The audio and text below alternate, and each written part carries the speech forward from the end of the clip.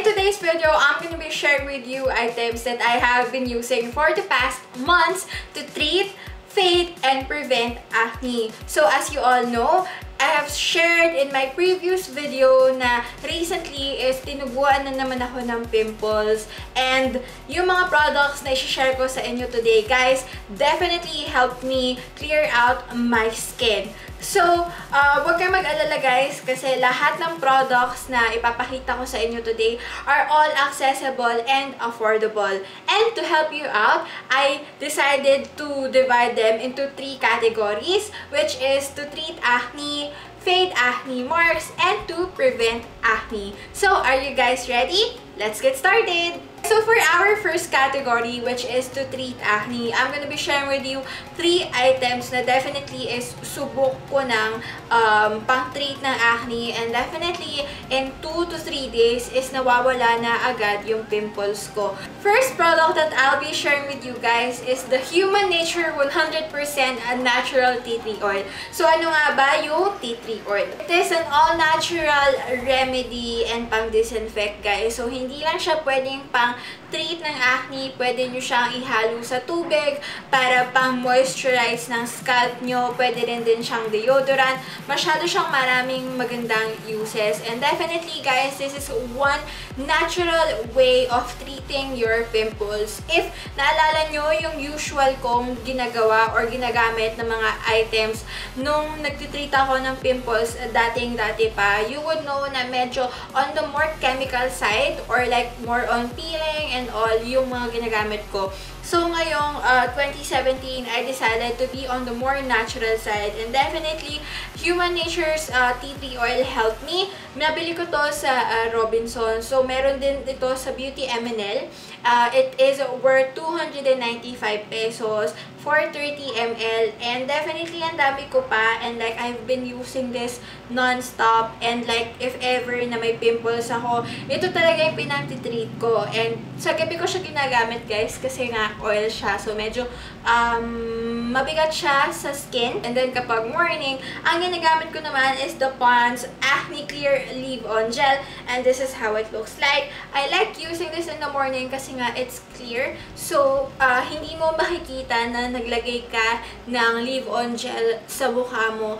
Plus, it is absorbed uh, quickly by the skin. Kaya, hindi siya mabigat sa feeling. So, this one naman, you can buy this sa Mercury, sa Watsons, or sa Robinsons. This is for only 180 pesos. Nagpe-penetrate siya sa uh, pimples, kaya mas mabilis na gumaling yung pimple.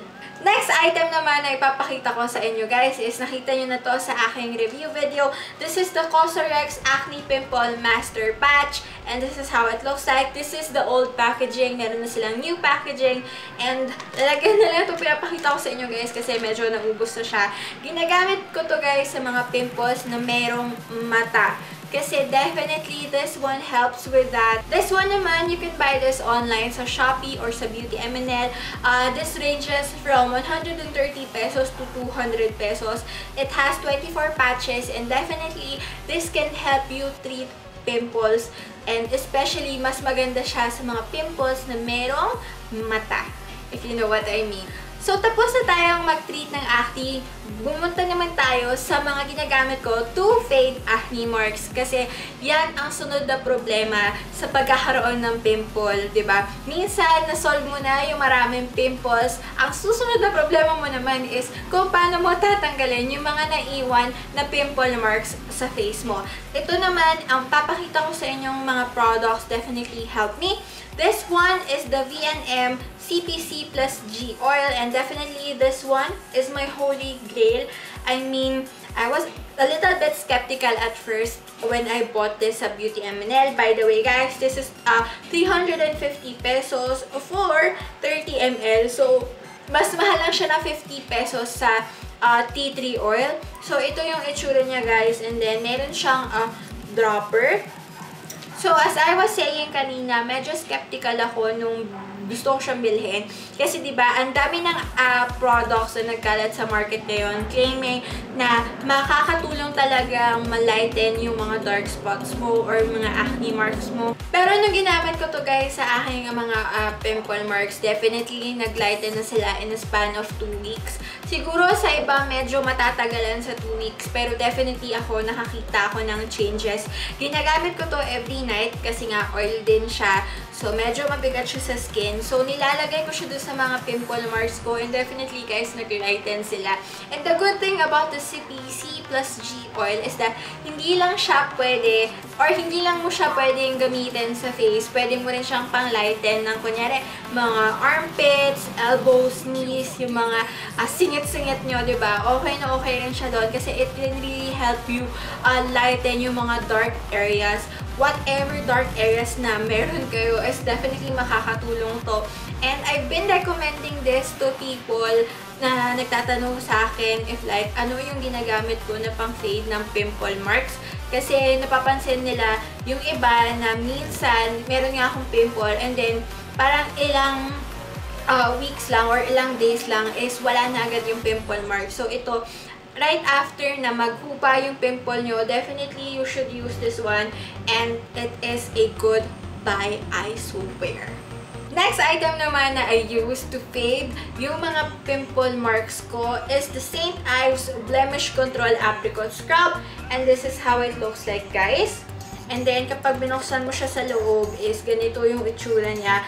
Sobrang, ano na to, uh, what you call this? Parang sikat na sikat na. It is a really good exfoliator. And hindi lang siya exfoliator, guys, na basta-basta. Kasi it can really also help uh, fade acne marks. Kapag may uh, acne talaga ako or acne marks, I make it a point na I exfoliate my face at least twice or thrice a week para matanggal yung mga uh, pimple marks. Ito guys, hindi ko lang siya ginagamit na pang tanggal ng pimple marks. It can also help you na mag-prevent ng breakout. So, double purpose na siya. This one naman, sobrang laking tube niya. This is for only 250 pesos. Minsan sale to sa Lazada guys. Baka mas, uh, mas mura siya. And then, ang tagal ko na to, ang tagal na sa akin ito, pero ang dami pa rin niya. And like, parang hindi siya nababawasan. So, ito, favorite, favorite kong exfoliator ever. So, now we are done with treating and fading acne. Ngayon naman, pumunta naman tayo sa prevention. Sabi nga nila guys is prevention is better than cure. Sobrang gasgas na niyan. Pero definitely kasi it really makes sense, di ba? Wala ka namang um, gagamitan ng pang treat or pang-fade ng acne kung inagapan mo na agad siya. So, ngayon naman, papakita ko naman sa inyo yung mga cleansers na ginagamit ko for my skin. So, I have two here with me from the same brand. This one or these products are from Cosrx. This is the Good Morning Gel Cleanser and then this one naman is the Salicylic Acid Daily Gentle Cleanser. Both cleansers are really good at uh, cleaning the face without the stripping feeling. Alam niyo yun, alam kong naramdaman niyo na or nakagamit na kayo ng mga products na feeling niyo is like na-strip off niya talaga yung lahat ng dumi pati yung natural moisture ng skin nyo is na-strip off niyo na.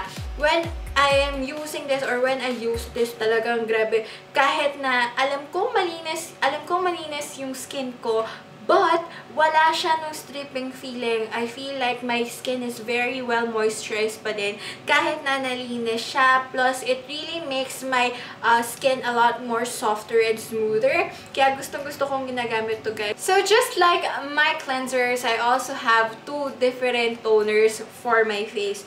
This one is the Rire Pore Tightening Fresh Toner. And then, this one naman is the Beauty Bakery Anti-Acne Mild Astringent. So, magsimula muna tayo sa sarili. Pore tightening toner, I use this in the morning kasi I really like its cooling sensation. And then, nakatanggal niya yung mga excess sebum. And ang cause ng acne is yung excess sebum. Pumapasok siya sa pores natin and then nagka-clog yung pores. So, definitely, dapat tinatanggal niyo yung mga excess sebum nyo. And this one really helps me with that. Plus, it has this cooling sensation. Kaya, yung mga open pores nyo sa umaga is nako-close niya is the Beauty Bakery Anti-Acne Mild Astringent. I use this in the evening. And then, Also, mararamdaman mo na nalinis yung skin mo, pero wala siyang stripping feeling. Sobrang mild niya sa skin. And then, it really helps me dry out yung acne ko. Just like yung mga other um, anti-acne products ko. And, malapit ko na siyang maubos, guys. This one, I, I forgot. This one is for 360 pesos. And then, this one naman is 189 pesos. Sabili ko to both sa Beauty MNL. And, ayun, ah, uh, hindi lang siya actually pwede sa face. Pwede nyo rin siyang panglinis sa mga um, mild wounds. So, um, it's really para um, double purpose. Kaya nakakatuwa kasi halos lahat ng products na ginagamit ko are all um, multi-purpose product. So, last item na papakita ko sa inyo guys is like parang laman na to ng halos uh, skincare routine video dito sa YouTube. Pero, ayun, kasi maganda talaga kasi siya. I am talking about the Nature Republic um, aloe vera gel and this is how it looks like. Nabili ko to sa um, mismong Nature Republic um, store sa Mega Mall and this is for only 250 pesos. I use this as my moisturizer sa morning as well as my um, evening uh, sleeping pack. And definitely, guys, nakakatulong din talaga siya sa pimples. And like, it really gives the moisture that your skin needs uh, in the morning as well as at the end of the day. And yung mga small bumps or like yung mga bootleg na pimples, if you know what I'm talking about, definitely is natitreat nito. And ayun, this is a really good investment. Um, what I learned about uh, skincare this 2017 is that you really have to um, invest on your skin kasi you can always put makeup and stuff, you can cover anything, pero it's much more um, better if like you flaunt your own uh, skin, your natural self, diba, to people. So, ayun, um, dati, if like, you know me, hindi naman ako ganun talaga ka-particular sa skincare ko, pero ayun, I learned to invest invest invest in skincare. So, okay mag-alala guys, hindi naman yan yung isang bagsakan kasi medyo mabigat siya sa bulsa. Pero kapag nakita nyo naman yung mga effects ng mga skincare items na binibili nyo, na ginagamit nyo sa face nyo is definitely makakatulong and matutuwa kayo. And that's it for this video. I hope you guys enjoyed watching and sana may natutunan kayo or mga hinakuha kayong bagong products na pwede nyo i-add sa inyong skincare. And if you like this video, please don't forget to like this video, comment down below, and subscribe. I will see you in my next video. Bye-bye!